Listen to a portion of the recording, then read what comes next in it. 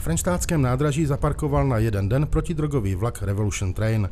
Projekt, jež má úspěchy nejen v České republice a podle kterého vybudovali podobný vlak také v Německu, nabízí dětem i dospělým možnost poznat nástrahy a důsledky života s drogami. Během dopoledne jim prošli školáci z Frenštátu pod Radhoštěm i okolních obcí. Já jako já to očekávám, že vlastně tady dostaneme nějaký vlastně příběh a informace o, o tom, jako co drogy dokážou udělat s člověkem a jakoby vlastní zkušenost s drogama jsem nikdy neměl, že takže se ně, dneska něco asi dozvím jako nového. V upravených vagonech je návštěvníkům postupně promítán příběh mladých lidí, kteří se potkávají s drogami. Návštěvníci pak odpovídají v anonymním dotazníku, jak by jednotlivé situace řešili oni, nebo jestli něco podobného už zažili. Vidění je i výsledek autonehody způsobené pod vlivem drog. Jirko, ty jsi ho zabil. Hlášení o nehodě osobního vozu s motocyklem. Dále děti můžou vidět drogový doupě, takový skvot, opravdu autentické, kde, kde to prostředí vypadá stejně jako, jako v ostatních, v ostatních skvotech. A školáci uvidí i, jak vypadá třeba vězenská cela. Studenti pak mohou zažít, jaké je to u policejního výslechu v roli drogového dílera. Unikátní projekt nabízí kromě ostatních i obrazové, zvukové nebo hmatové zážitky. Na konci vlaku pak své dojmy nechávají návštěvníci na papírcích se vzkazy. Nejsilnější byl asi ten příběh té paní, která tam vlastně šla do té léčebny. A dobrý dojem, jako líbilo se mi to. Potkal jsi už někdy s drogama? No. Jsou drogy ve tvém okolí? Myslím si, že ne. Výsledky anonymně vyplněných dotazníků pak organizátoři zpracují a dodávají radnicím, což má pomoci zmapovat situaci ve městě. Musím říct, že každé město má svůj příběh. A teď eh, nás hodně jakoby, eh, překvapila situace ve Frýdku Mísku, kde eh, město jako tvrdilo, že nemá velký problém s drogami, ale skutečně je tam velmi dost uživatelů a chodí za náma maminky, dojatý, který skutečně nám děkovali za že jejich děti se setkávají s drogami a byli nesmírně vděční, že náš vlak přijel. I ve Frenštátě byl v odpoledních hodinách Revolution Train přístupný veřejnosti. Vagony protidrogového vlaku už prošlo přes 65 tisíc návštěvníků.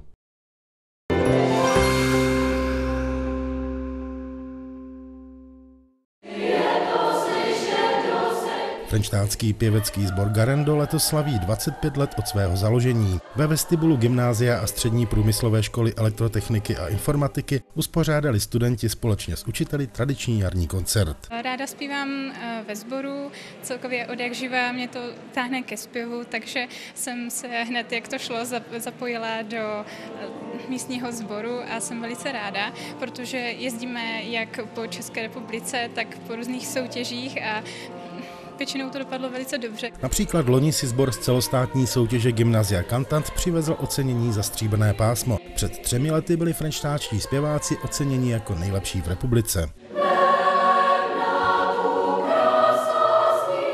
Zpívám tři roky vlastně od začátku mého nástupu tady na gymnáziu a Garando je jako skvěle. S Garandem jsou spojeny i různé jako aktivity, jako koncerty, nějaké soustředění víkendové takže super. Zakladatelkou sboru a jeho uměleckou vedoucí je učitelka českého jazyka a hudební výchovy Ivana Klvaňová. Jsou to bezvadné děcka, které se učí ve sboru nejenom zpívat, ale učí se také jakési kázni, učí se poslouchat druhé, naslouchat a to si myslím, že je pro život strašně důležité. Vždycky v každém tom ročníku se najde pár studentů, kteří jsou zanícení, kteří zpívají s velkou chutí, s velkou radostí. Zbor byl původně založen jako dívčí.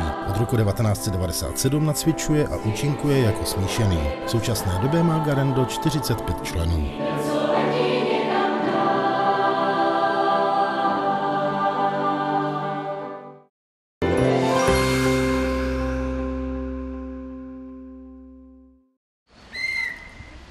Ve frenštátském autokempu proběhlo okrskové kolo dopravní soutěže mladých cyklistů. V rámci něj změřila síly čtyřčlenná družstva žáků základních škol. Po ranní prověrce v teoretických testech se soutěžící rozjeli na dopravním hřišti. Soutěži se vedou kategorii. První kategorie jsou mladší ve věku 10 až 12 let.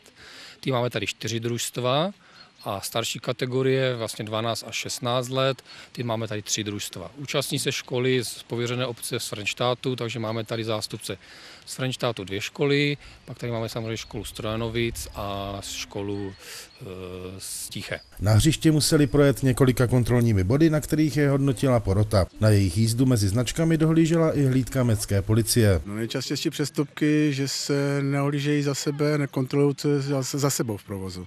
No a potom přednosti v jízdě taky neřeší ty značky, ti mladší určitě nestíhají. A nechyběla ani tradiční jízda zručnosti. Na překážkách ukázali účastníci soutěže, jak dokáží ovládat kolo, jaký mají odhad na vzdálenost, nebo jestli jsou schopni zastavit na určeném místě.